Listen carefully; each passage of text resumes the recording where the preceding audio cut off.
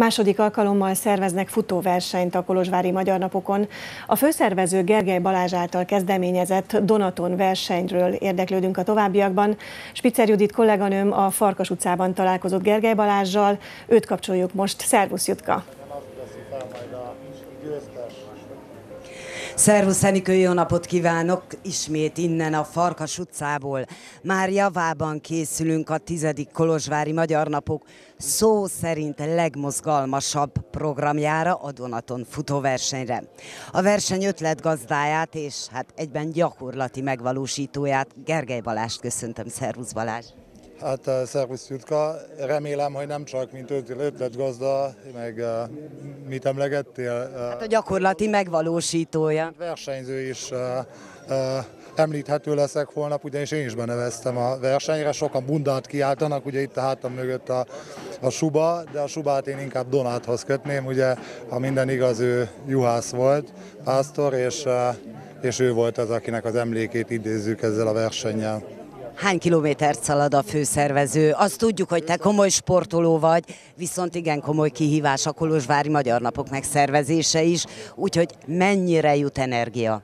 A hét folyamán lefutottam eddig 45 kilométert, úgyhogy, úgyhogy még van bennem energia. Úgy gondolom, hogy a főszervezőnek csak is a király kategória illik, úgyhogy a tízesen indulok.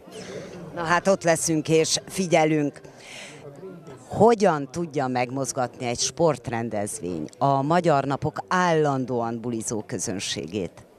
Hát a számok magukért beszélnek, tegnap le kellett zárjuk az online nevezést 500 benevezett jelentkező volt már, és hát a holnapi a verseny előtt a helyszíni nevezésekkel én úgy vélem, hogy a általunk meghatározott felső határt el fogja érni a versenyzők száma, tehát 625 rajtszámot készítettünk, minden bizonyal ez, ez lesz a vége. Hát én úgy gondolom, hogy ez magáért beszél, és hát nagyon örvendünk a tömegsport és az együttsportolás, az ugyanúgy egy, egy közösségi öröm, mint a bármilyen más program a Magyar Napok keretén belül, úgyhogy, úgyhogy hajrá mindenkinek, én nagyon-nagyon buzdítom még a, a, a kételked, nem kételkedőket, hanem azokat, akik vacilálnak, hogy eljönnek-e vagy sem, hogy holnap reggel a helyszíni nevezésen még tegyék le a nevezéseiket és fussanak velünk. Mondjuk el a helyszín hol lesz, honnan indul a start, hiszen sokan jönnek szurkolók is, nyilván aki benevezett, az tudja, hogy honnan indul? A rajt az a Farkas utcai színpad előtt lesz, a rajtcsomagok felvétele ma délután 5 és 8 között, illetve holnap reggel 8 és fél 10 között a színpad háta mögötti versenyközpontban lesz, tehát a Farkas utcai színpad háta mögötti versenyközpontban. Elmondhatjuk, hogy Erdély egyik legkulturálisabb sportrendezvényéről beszélünk. Nekem így ez jutott eszembe. Jucika magácskának minden szabad, úgyhogy elmondhatjuk.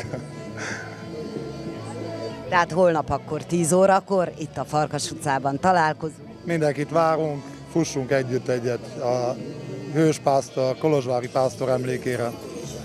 Gergely Balázs, nagyon szépen köszönöm, és kitartást a leghosszabb távhoz. Köszönjük szépen!